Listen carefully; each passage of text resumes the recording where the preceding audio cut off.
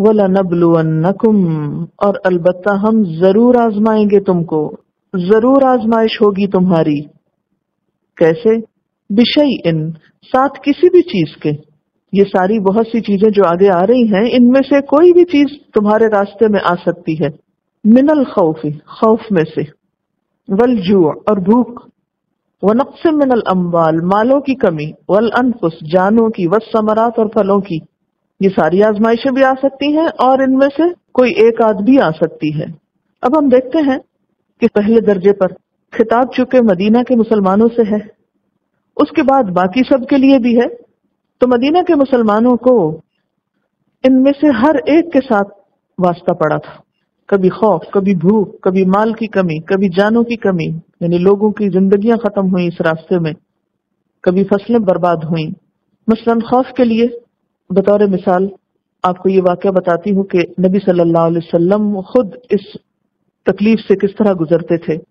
बुखारी की रिवायत है, एक दफ़ा नबी सल्लल्लाहु अलैहि वसल्लम ने फरमाया, काश आज रात कोई मेरा पहरा दे ताकि मैं सो सकूँ। ये सुनकर हज़रत साद बिन नबी वक़ास मुसल्ला होकर आ गए और कहा, या रसूल अल्लाह सल्लल्लाहु अलैहि वसल्लम, मैं पहरा देता हूँ, आप सो जाएँ, चुनाचे आपने इस तरह आराम पाया। खसूसन जंग अहजाब से पहले जब हर तरफ़ से दुश्मनों के आने की खबरें मिलती थी तो ये वक्त मुसलमानों के लिए बहुत खौफ का वक्त था खौफ से बहुत आजमाइश हुई उनकी हर वक्त मदीना की रियासत खौफ का शिकार रहती और इतना ज़्यादा खौफ होता था कि मुसलमान सो नहीं सकते थे कि मालूम नहीं किस वक्त कौन दुश्मन कहाँ से आके हमला आवर हो जाए तो फिर याद दहानी करा दूँ कि ये खौफ किस रास्ते का है अल्लाह के रास्ते का एक रात अहले मदीना एक खौफनाक आवाज़ सुनकर घबरा गए। फिर वो उस आवाज़ की तरफ़ रवाना हुए तो देखा कि आप सल्लल्लाहु अलैहि वसल्लम उधर से वापस आ रहे हैं। आप उनसे पहले ही उस आवाज़ की जानब रवाना हो गए थे और खबर मालूम करके आ रहे थे। आपने लोगों से कहा, डरो नहीं डरो नहीं। तो इससे अंदाज़ा हो सकता है कि हर वक्त कोई ना कोई ऐसी खौफ दिलाने वाली चीज़ आसपास माहौल में मौजूद होती थी। फिर उसके बाद वलजू और भूख से आजमाइश होगी। और ये भूख भी फ़ी सबीलिल्लाह। हज़रत अबू हुरारा रज़ी अल्लाह अनहु कहते हैं, मैंने सुफा वालों में सत्तर आदमी ऐसे देखे हैं जिनके पास चादर तक न थी। फकत तहबंद था या कंबल था, जिसे उन्होंने गर्दन से बाँध रखा था, जो किसी की आधी पिंडलियों तक पहुँचता और किसी के टखनों तक, जिसे वो अपने हाथ से समेटते रहते, इस डर से कि उनका सतर न खुल जाए। आपको मालूम है असहाब सुफा कौन थे? जो इस्लाम सीखने के लिए अपने अपने इलाकों से मदीना में जमा हुए थे। उन्होंने अपने घर बार छोड़े, अपने कारोबार छोड़े, ताकि दीन सीखे जाकर और दीन सीखकर वापस जाकर लोगों को सिखाएँ, इस्लाम को ज़िंदा करें। बेहतरीन उम्मत होने का रोल अदा करें। अब आप देखिए कि हम इन आजमाइशों को देखें और अपने हाल को देखें और अपनी नाशुक्रियों को देखें। कि हम में से कोई छोटी सी भी कुर्बानी कर बैठता है, अल्लाह के रास्ते में तो बहुत एहसान जताना शुरू कर देता है। और बार बार उसका तस्करा करेगा बार बार उसका इजहार करेगा कि अल्लाह के रास्ते में निकलने की वजह से ये मुश्किल आई है। अगर वो लोग उस वक्त अपने घर छोड़कर न निकलते और ये कुर्बानियाँ न करते तो आज क्या ये दीन हम तक पहुँचता? अगर कोई आकर इसको न सुनता नबी सल्लल्लाहु अलैहि वसल्लम से और न सीखता और न याद करता और न आगे पहुंचाता तो हम यहाँ न बैठे होते। हज़रत आशा रज़ी अल्लाह अपने भांजे उर्वा बिन जुबैर से कहती हैं कि मेरे भांजे, हम पर ऐसा वक्त गुजर चुका है कि हम एक चाँद देखते फिर दूसरा चाँद, यानी दो दो महीने हमारे घर में आग नहीं जलती थी, यानी पका हुआ खाना नहीं हमको मिलता था। उर्वा ने कहा, खाला, फिर तुम्हारी गुजर किस चीज़ पे होती थी? हज़रत आयशा ने फरमाया इन्हीं दो काली चीज़ों पर, यानी खजूरों पर और पानी पर। हाँ ये ज़रूर था कि हमारे हमसाए में चंद अंसारी लोग थे, जिनके पास बकरियाँ होती। वो उनका दूध दोकर नबी सल्लल्लाहु अलैहि वसल्लम के लिए तोहफे के तौर पर भेज दिया करते थे, जिससे वो हमें भी पिलाते थे। तो ये हैं वो लोग जिन्होंने भूख उठाकर दीन की खिदमत की।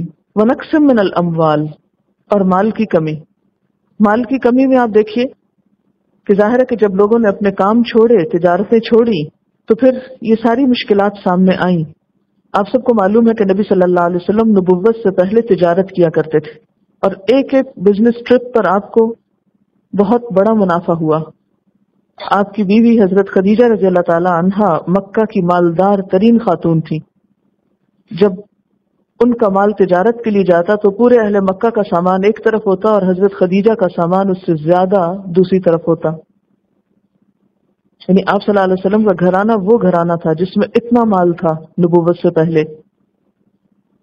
लेकिन नबूवत के बाद आपका सारा ध्यान, आपकी सारी कोशिशें दीन की तरफ़ लग गई। और तिजारत के लिए वक्त नहीं बचा। और जो कुछ आपके पास था वो दीन की तबलीग में लग गया हती कि ये नौबत आ गई कि घर में खाने तक को कुछ ना होता था। हज़रत अबू हुरैरा फरमाते हैं कि आप सल्लल्लाहु अलैहि वसल्लम की आल पर आपकी वफात तक ऐसा जमाना नहीं गुजरा कि उन्होंने मुसलसल तीन दिन तक पेट भर के खाना खाया। आज हम अपने आप को देखें। नक्सिम मिनल अमवाल की एक और मिसाल हज़रत अबू मूसा अशरी फरमाते हैं कि हम छह आदमी आप सल्लल्लाहु अलैहि वसल्लम के साथ एक लड़ाई को निकले। सवारी के लिए हम सब के पास एक ही ऊँट था। बारी बारी उस पर सवार होते चलते चलते हमारे पाँव फट गए और मेरे तो पाँव फटकर नाखून भी गिर पड़े। इस हाल में हम पाँव पे चीथड़े लपेट लेते। इसीलिए उस लड़ाई का नाम जातुर्रिका करार पाया। चीथड़ों वाली जंग, यानी जिसमें लोगों ने अपने पाँव पे चीथड़े लपेटे थे, इतना चलना पड़ा कि जूते टूट गए, पाँव जख्मी हो गए और फिर भी चलते रहे। हम जैसे होते तो बैठ रहते। कि इतनी तकलीफें हम नहीं उठा सकते ये तो हम सोच भी नहीं सकते। और फिर वह समरात और फलों में से, फलों का भी आप देखें कि ज़ाहिर है कि जब जंग तबूक हुई तो लोगों के खेत पक्के तैयार थे और वो सारे के सारे निकल खड़े हुए रूमियों से जंग करने के लिए। तो पके हुए खेत को छोड़ देना, क्या है? उसको बर्बाद करना। एन उस वक्त जबकि कटाई हो रही हो फ़सल की और माल आने वाला हो, उस वक्त इंसान निकल खड़ा हो किसी और काम को तो आप सोचें कि फिर दुनिया के तकाजे कैसे पूरे होंगे। तो बस समरात और फल। फिर इसी तरह बसाओ का जंगों के मौके पर महज खजूर होती थी जो लोगों के पास होती। तो एक सहाबी कहते हैं कि इस तरह हमारे पास खजूरें थी जिसके साथ हमने जहाद किया तो दूसरे कहने लगे कि सिर्फ़ खजूरें तो कहने लगे कि हाँ एक दिन ऐसा भी आया कि वो भी कम हो गई तो फिर हमें उनकी भी कदर आई कि ये भी कितनी कीमती चीज़ है। तो बहरहाल, अब अल्लाह ताला हर एक के ऊपर आजमाइश उतनी डालते हैं जितनी वो उठा सकता हो, क्योंकि उन लोगों के दर्जे बड़े थे, इसलिए सबसे ज़्यादा उन पर आजमाइशें आई। कहते ना कि जो अल्लाह के जितना करीब होता है, उतना ज़्यादा आजमाया जाता है। तो उन पे और उनके सहाबा पे, जिनके लिए रज़ी अल्लाह वरदू अन का कुरान में ज़िक्र आया तो उन पर तो आजमाइशों की हद हो गई। लेकिन ये सुन्नत हमेशा जारी रहती है कि आपको अपना सुकून, आराम, नींद, खाना, अपनी पसंद की चीज़ें, पसंद का मौसम, घर, बार, ये सब कुछ कुर्बान करना पड़ता है। जब जाकर दीन का फ़ायदा होता है। अगर हम सारा वक्त अपने आप पर तर्स खाते रहें और अपने आप को मजलूम समझें कि अब हमारे पास ये नहीं रहा, वो नहीं रहा, आज मुसलमान उम्मत पर यह हाल इसी वजह से हुआ है कि वो दुनिया के पीछे दौड़ रहे हैं। दुनिया बनाने की फ़िक्र में है। और इसी वजह से वो इज़्ज़त, वो मकाम और वो मर्तबा और वो बुलंदी जो अल्लाह का वादा था, वो बाकी नहीं रहा। क्योंकि वहाँ तो ये था ना फ़र्ज़ करो नहीं अजकुर को तुम मुझे याद रखो, मैं तुम्हें रखूँगा। तुम मेरे दिन के लिए काम करो, मैं तुम्हारी मदद करूँगा। आज जबकि मुसलमानों ने ये काम छोड़ दिया तो अल्लाह की मदद भी चली गई। वबशर साबिरीन, और खुशखबरी दे दो सब्र करने वालों को। साबिरीन को। कौन है ये साबिरीन? अल्लदीन इज़ा असाबत हम मुसीबत कालू इन्ना लिल्लाहि व इन्ना राजिऊन। वो लोग, जब उन्हें कोई मुसीबत आती, कोई भी तकलीफ़ पहुँचती है तो उस पर वो क्या कहते हैं? इन्ना लिल्लाहि व इन्ना राजिऊन। बेशक हम अल्लाह के लिए हैं और उसी की तरफ़ लौट के जाने वाले। अगर कोई चीज़ चली गई है, कोई चीज़ कम हो गई है तो हम भी दुनिया में बैठे नहीं रहेंगे। हम भी वापस जाने वाले सब अल्लाह ही का दिया है। अगर वो वापस ले लेता है तो नाराज़गी किस बात की? हमें खुद भी तो जाना है। तो बंदा मोमिन किसी चीज़ के जाने के मौके पर अपने वापस जाने को याद कर लेता है। तो उसको फिर छोटी छोटी चीज़ों का नुकसान भूल जाता है। हज़रत हुसैन बिन अली रज़ी अल्लाह से मरवी है कि आप सल्लल्लाहु अलैहि वसल्लम ने फरमाया, जिस किसी मुसलमान मर्द या औरत को कोई मुसीबत पहुँचे और जब भी उसको ये तकलीफ़ याद आ जाए तो इन्ना लिल्लाह पड़े तो अल्लाह ताला उस कदर सवाब लिख देता है जितना पहले दिन के सबर और इन्ना लिल्लाह पर लिखा गया था, अगरचे इस मुसीबत को कितना ही जमाना गुजर गया हो। यानी इन्ना लिल्लाह पढ़ना सिर्फ़ उसी वक्त नहीं जब मुसीबत आए, बल्कि जब कभी बाद में भी याद आए तो ये पढ़ लेना चाहिए। तो उतना ही अजर मिलेगा जितना पहले दिन पढ़ने पर मिला था। तो यही सबर की अमली सूरत होती है कि जब मुसीबत आती है तो उनका रवैया क्या होता है? अल्लाह ताला की तरफ़ रुजू करते हैं। तो ऐसे ही लोगों के लिए उलाय का अलहिम सलावात रबिम व रहमा।